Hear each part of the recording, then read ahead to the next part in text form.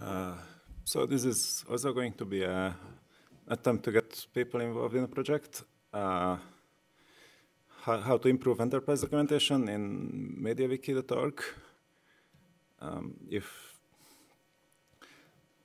uh, first, first thing to make sure is if you develop extensions, then please create a MediaWiki.org page for them. Uh, there is an, an, extension template that, that you can use to fill out all kinds of information that, that make your extension actually discoverable, like uh, what kind of hooks it uses, what, what type of functionality it provides, what versions of MediaWiki it supports, so on. The whole process is kind of bad, but uh, probably if, if you can deal with installing semantic MediaWiki, then you can figure out the template as well, so not that terrible. And it, it helps, helps the people who develop code, it help, helps all the users who are looking for extensions. Uh,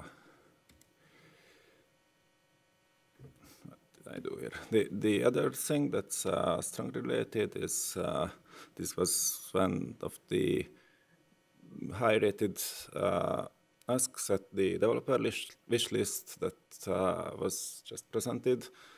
Uh, figure out how to automatically generate these info boxes from extension.json. So if, if some people are interested in, in working on that, that would be great.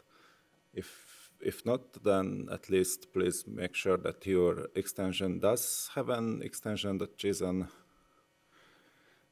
uh, in case you are not familiar with it, uh, this is a feature called extension registration, which is since 1 to 5, uh, in which this replaces the old PHP entry points for extensions with a JSON-based schema that, uh, that can be used to, to more efficiently load extensions and also can be used to extract metadata for documentation. Um, MediaWiki has an enterprise hub. Uh, I, am curious how many people have ever seen it.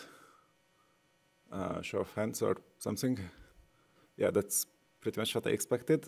It's it takes an effort to find. It's very well hidden. It's it's in a very uh, it's in a draft phase. I I think it's it's quite sad that there is no MediaWiki no functioning MediaWiki page where you can go to understand if you're a commercial user, whether MediaWiki is good for you, how to use it. So it, it would be great to improve this page. And uh, related, there is a testimonials page which uh, has been created, I think, four years ago and then not touched ever. It was some, some kind of student project. It's, it's pretty cool, but it, it would be nice to keep it updated